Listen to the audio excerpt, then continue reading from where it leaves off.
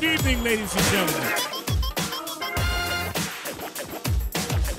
It's time for me to introduce your home team, the Millionaire Magician.